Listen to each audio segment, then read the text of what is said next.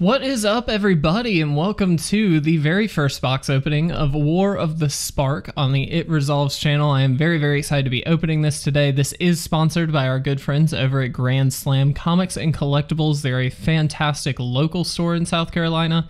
Uh, I highly recommend checking out their Facebook group, and uh, if you are uh, planning to pre-release and you're in the area, I would highly suggest checking them out as well. They will be doing the full pre-release gambit this weekend, uh, and I'm honestly really, really excited about it. I'm hopefully going to be there on Friday uh, today, obvi- obviously, and uh, hopefully be able to to at least record a little bit of the pre-release and hopefully do some promo material for them as well. So I am really excited about that, but more excited right now about opening up this set. So I really, really like this set. Uh, I think the planeswalkers in every pack, uh, initially I was really excited for.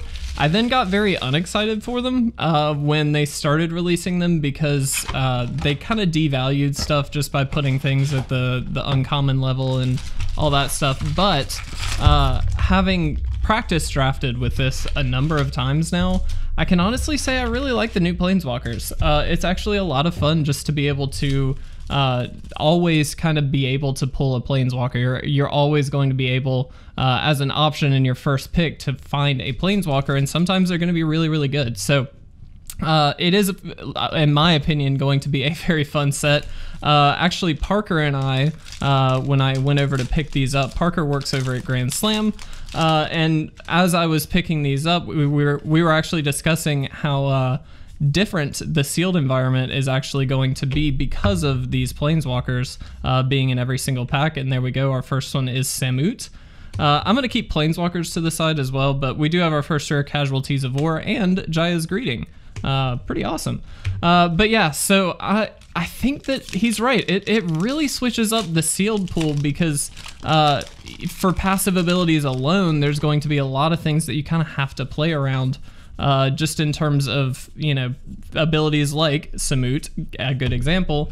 Uh, all your creatures have haste. In this case, anytime you play a creature uh, with power four or greater, you draw a card. It's just such great passive abilities uh, that I think it's going to be really fun uh, to see how this pans out in sealed. I also think draft in particular, that's what I've been kind of practicing, and it's been a lot of fun. Uh, I really, really enjoy it. Um, I think that the archetypes are fairly clear.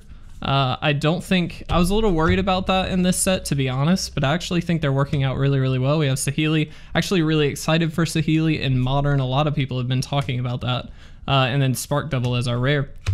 Um, but I do think uh, it's just it's going to be a lot of fun. I think the archetypes are pretty clear. I think that it's going to be a uh, a really good draft environment. It's going to be one that's a little bit different than anything else that we've seen before, which I'm really excited about as well. Uh, Ashiok, another really, really good modern uh, staple, I think, honestly, upcoming staple, just because this turns off uh, fetch lands, which is great. Uh, really, really excited about that. And then Solar Blaze as our rare. Um, and so, I don't know. I think it's going to be an interesting environment. I think that we're going to see a lot of uh, people kind of forcing the Planeswalker thing. And I don't really think that you have to. I think it's just going to happen naturally. We did get uh, the Wild Crafter here and then we have Mizzium Tank as our rare in this one. Uh, I don't think that you have to force it. I think that uh, you'll naturally be able to tell when the planeswalkers are good and when they aren't. Uh, I've noticed in a lot of cases, I don't find myself always taking the planeswalker right off the bat. Uh, I find myself looking at other cards first, Davriel, uh, and then enter the God Eternals. I actually think this is going to be a really good card as well. Uh, and so I, I don't know. Uh, well, again, that kind of devalues the planeswalkers. It does add a whole new twist that we are going to have to account for when you're building decks. I think uh, part of what I've been reading about, especially uh, Ob Nixilis, another good one, uh, and then Time Wipe as our rare.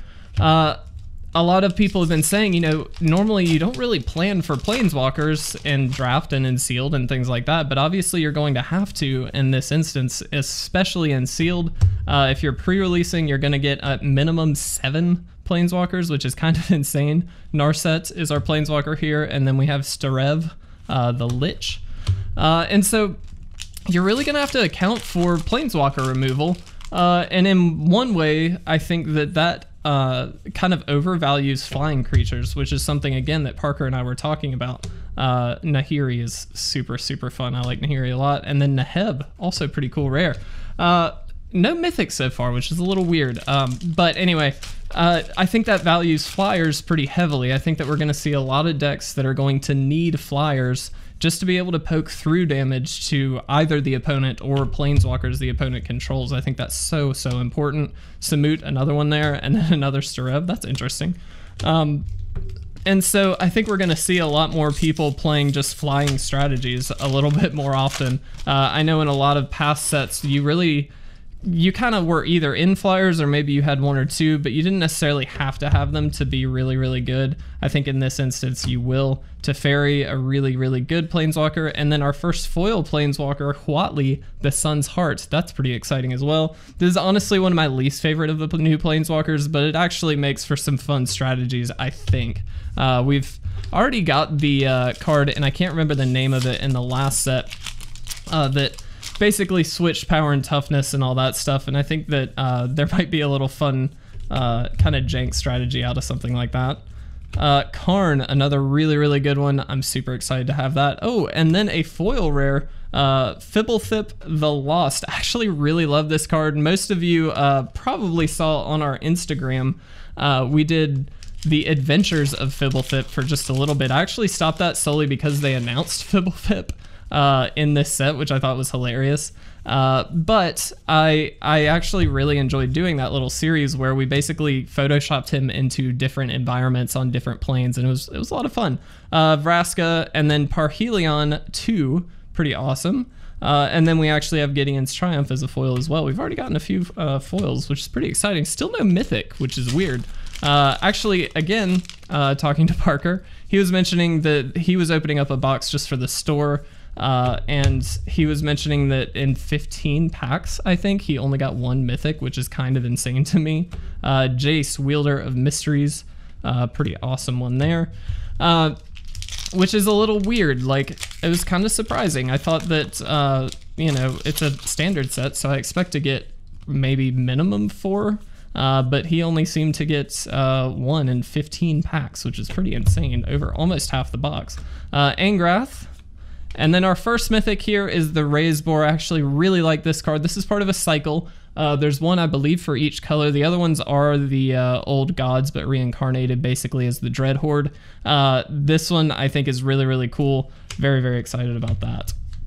Um, but yeah, so anyway, long story short, uh, I'm kind of hyped with this set, more so than I thought I would be, uh, especially after drafting it a little bit. I've found that it is a lot of fun. Arlinn, surprisingly okay in draft. I actually really didn't like Arlinn at first. Uh, and then Awakening of the Vitu-Ghazi is also in there. Uh, but it's actually a lot of fun. Uh, I like the ability to do all these sort of passive things. Uh, and I actually think there's a lot of just like lockout cards that are going to stall the game a little bit, which is, I think, going to be pretty fun. Saheeli, and then uh, one of the cards that a lot of people were talking about, Bolas's Citadel. A lot of combo potential there. Pretty excited to uh, actually open that one. Uh, Saheeli was one of the big ones, though, for Modern that a lot of people were talking about, solely because uh, it's sort of a more expensive, but obviously potentially better uh, young Pyromancer.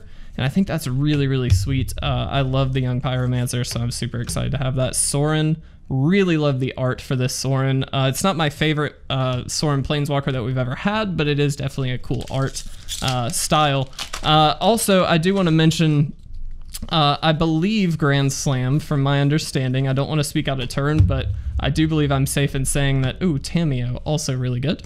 Uh, they will be getting the Japanese booster boxes out. So a lot of you probably already know uh, they did alternate art for the Japanese boxes, uh, which is really, really cool. Uh, but it obviously is usually going to be inaccessible to a lot of people, uh, which I don't like so much. Dovin, that's pretty awesome.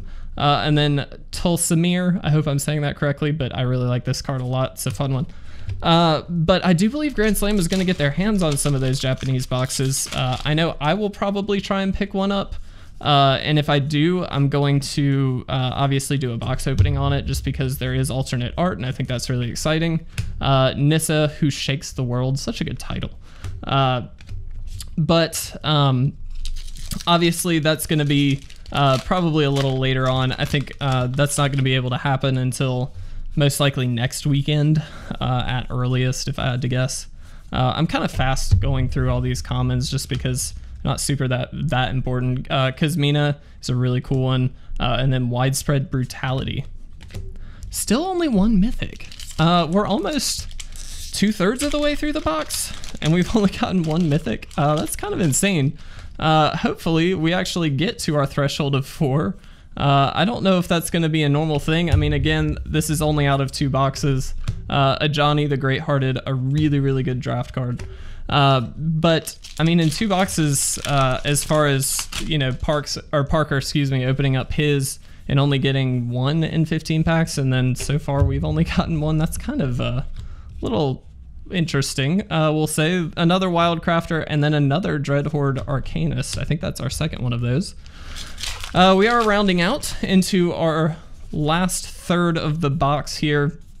Uh, again, I just want to give you guys some tools, uh, another Kasmina, and then uh, Deliver Unto Evil. I love the art for this card. A lot of people are talking about it. It's super, super nice. Uh, something that I would highly, highly recommend uh, for anybody looking to either pre-release or uh, just draft even. Uh, which, if you're not doing either of those things, what are you doing, honestly? But uh, the Wanderer, really, really cool. And then Krenko, nice. Love that. And Ob Nixilis's Cruelty is our foil there. Uh, but if you're looking to do any of that stuff before the set comes out, you can do this literally anytime. Uh, I've been doing this as like a build up throughout the week uh, to opening up this set, which is cool. I think that, yeah, we just got this, but whatever. Uh, role reversal and then Arlinn's Wolf. Uh, but you can actually go to, there's a lot of different tools for this. Draft Sim is a good one. Uh, I also really like cardsphere.draft.com, uh, which is a really good tool for just testing out drafting. I believe uh, Tibalt, oh wow. Uh, and then our second, uh, Roalesk uh, Apex Hybrid. I hope I'm saying that correctly. This is actually a really cool card. I like that one a lot. But that's our second mythic, and we're on our last third. Uh, but anyway, a lot of good tools out there for you to actually practice draft with. Uh, before you get into a pre-release environment, it might actually be a good thing for you to try that. Uh, Chandra Fire Artisan, also great. Uh, I know DraftSim as well also offers sealed pools that you can draft, or, or excuse me, that you can build from. Uh, and so if you're looking to pre-release or you're looking to do more sealed stuff, that might be a good way to do it. Oh, that's interesting. So we got Ral Storm Conduit, and then as our foil, we got Ral Storm Conduit. That's really funny, actually. Uh, I don't think that's ever happened to me before where I've gotten the same rare as the foil. That's really cool. Uh, but anyway, it, it's a really, really good tool. I highly, highly suggest doing that uh, just for anybody, honestly. Uh, Huatli, again, and then our third mythic, Niv Mizzet Reborn. This is one of the least playable cards, in my opinion. It's really, really cool. Uh, the story, like the lore behind it's pretty fun, uh, but unfortunately, the card itself being five color is just kind of a little too unrealistic, we'll say.